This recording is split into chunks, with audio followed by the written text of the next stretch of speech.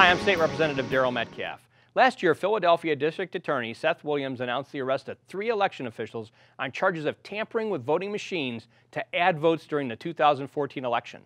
More recently, the Philadelphia City Commissioners are being sued by the Public Interest Legal Foundation due to the defendants failing to provide information about the voter roll maintenance in Philadelphia.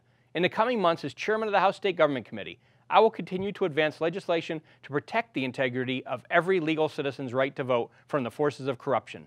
While my voter ID bill was struck down by a Democrat partisan judge in 2012, House Bill 1724 is a reintroduced version of the voter ID legislation of which I'm the first co-sponsor.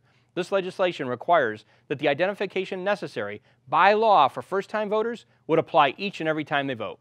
House Bill 1724 will deter voter fraud by ensuring each individual has sufficient evidence that they are who they claim to be.